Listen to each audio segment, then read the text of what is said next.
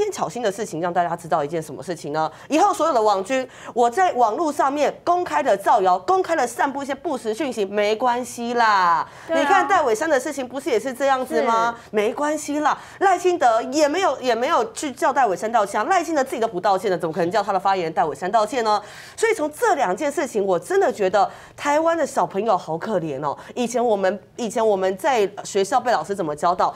哎，这个不实的讯息你不可以乱传哦。还有你要去看电视的时候啊，你要去有查证啊，你要有一个独立思考啊，什么等等。以前我们上课在教独立思考，现在的独立思考是什么？反正侧翼就是王道啦，侧翼就是就是正道，侧翼的讯息就是真的讯息，不是假讯息。因为反正北检认定嘛，好，那我说北警说他们有查证。哎，查证在哪？我就问啦，你们有去问徐小新吗？没有吗？你们有去问洪孟凯吗？没有吗？所有的人都没有收到北检的查证。哎，那到底北检查证了谁？他跟谁询问了？没有吗？好，那再来的话，北检他有去找出所谓你们说的跟拍的这个人吗？也没有啊。哎，跟拍的狗仔在哪边？你们有找到吗？北检有找到吗？没有吗？那到底整件事情北检查证到哪边了？我很好奇，他们的查证有啦。就跟这个网军侧翼一样，他们的查证就只是要污蔑国民党，他们的查证就是这样的查证。而且这个查证根本不需要半年啊，就是他这两件事情不是在当下第一时间你就可以查出来了吗？那我连警方都可以去做判定了，然后这判决还有问题，这不是很奇怪？那历史哥昨天其实有很多人去做一些哭手，也发现到哦，但我是要先强调，徐小新有说。他等到他收到不起诉书之后，他会申请在役。所以观众朋友们千万不要紧张。那我们也希望申请在役之后呢，他说哥布林也不用开心的太早，这个事情还没有结束。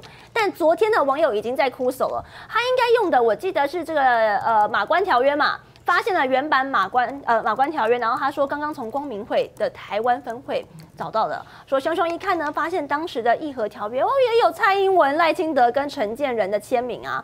这当然是哭手，当然是去做恶恶意的物质。不过他就是故意要笑这件事。既然你今天北检都可以判这件事没有问题啊，呃，不只是有查证啊，罪证不足啊，这签名确实也他们这一份签名也确实他们，他们去找出来，不管是在维基百科上面啊，或是过去在写这些文件上面，确实是蔡英文、赖清德跟陈建仁他们的签名无误。所以这 OK 吗？那另外这次大家就会讲说，那现在天下第一检他的舵手是谁呢？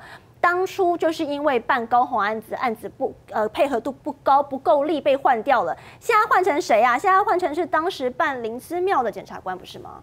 这个啊，分几个层次讲啊。第一个呢，要先跟各位网友们报告一件事情哦，绿人你不能，所以你要小心一点啊。今天呢，啊这些无良公关，这些哥布林侧翼啊，他可以在那边造谣这一些签名。不是代表大家可以哦，你小心哦，大家不要忘了哦，大局为重，曾经哦，在告过一个高中生，在花莲的，马上警察就去抓他了，到时候逼着人家道歉了，所以大家真的要小心，这不是人均皆可啊，哦，他办你的案子就特别积极哈，那都办别的案子，那就再说再说，大家不要忘了，现在台南还躺着一个议长案啊，今天这个台南市前议长郭信良被查嘛，可是问题是议长会选案到现在，哎。那么大的一个金额，全金就一千万的，然后他一百五十万交保，邱丽丽到现在林志展到现在有事吗？完全没事啊，所以这简直是这夸张荒谬到一个极致嘛。那话话说回来哦，大家要想一个问题啊，就是他们这个样子的查证叫什么查证哦？就说哦，原来只要查证这个签名就是真的，所以呢，我把它贴到任何地方啊，哎，都是可以的吗？那当然是不行的嘛，因为为什么今天无良公关可恶在哪里？他可恶的地方是，他把别人的签名移植到一个文件上面，然后说这件事就是这些人做的，人家没有做，然后你把这个签名移植到这上面，然后呢说这就是他做的，这是哪门子的查证？就查了签名不查文件？是啊，所以这检察官简直是荒唐嘛！我已经直白的讲，台湾的司法已经死透了啦。为什么？如果下一任啊上来的还是民进党的话，我对司法是完全没信心。大家想一个问题。我们常常自豪说：“哎，我们是亚洲第一个民主国家，我们是民主灯塔，对不对？我们要我们的民主同盟向前行，对抗中共的专制暴政。”好，我就问一个问题，请问哪个民主国家检察官，呃，最检察总长跟大法官可以是夫妻的？哪一个？你说说看嘛？可以这么公然的，然后搞这种事情，然后就过了耶？大法官过了耶？我们连哀嚎的声音都没有啊！我们想哀嚎，然后民进党就火车过山那种，嘣嘣嘣嘣嘣就给你撵过去了。怎样告不回家，旺旺旺，没辙啊。这就是现在的民进党嘛，他现在根本不在乎你的感受，他现在根本就直接碾过去。检察官甚至不起诉，完全看他自己来判案，他就是这样搞你啊。包括我前阵子被人家告这个所谓的妨害名誉，就搞了半天，就是一个很简单的啊有所本，然后影片也附上，哇，还要传这个证人什么，就一直搞你，这个按着无限制延伸。我就想，这检察官到底想干嘛？他到底要弄多久？我不知道了。那我们都有详尽查证啊，他这个叫详尽查证，不笑死人了。我连影片、文件、当时照片通通都有。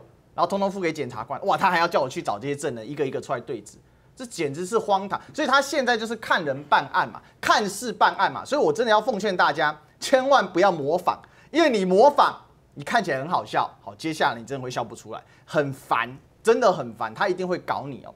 那再来啊，我要告诉大家另外一个事情啊，哈。就是说，刚才讲到说，哎，这个什么，到底谁是韩粉？什么？哎呀，这个没有什么好争的。为什么呢？因为你、你、你、你、你可能都是韩粉。为什么？很简单，对塔利班的逻辑来讲，只要不支持他们哥布林啊，你人均是韩粉啊。所以大家也不用分你我了啦。我只要告诉大家一个概念，就是说，今天我们的目标目的其实很简单，我们希望国家拨乱反正，我们希望国家回到正轨，所以我们希望。在违法乱纪、践踏司法、垄断特权的民进党可以下台。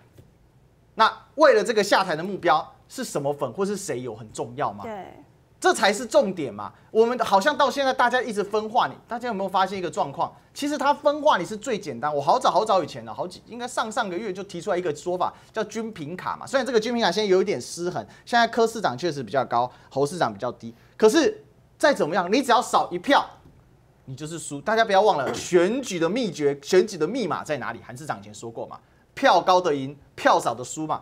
我赖清德只要赢你一票，我就是赢了。就是赢。那照现在推估，以他的这样的一个民调，三十五趴到四十趴之间的一个状况，然后以他们的投票的动员率，民进党的铁粉是非常铁的，尤其像我们家人很多深绿的，我都去问完了，那他们就是早早决定都要投票了，而不投票才是新闻。那告诉大家，他们投票率至少出估最低最低啊，八成五到九成，那都还是低估啊。就我以前的了解，大概九成五了啊。比如说，在在我看哦，我们家高人从来没有没投票过嘛。二零二二年陈其迈都躺着都赢了，然后他还跟我说，哎，我这个明天哦，我要去打高尔夫球，我早早八点半就出门，我不投票了。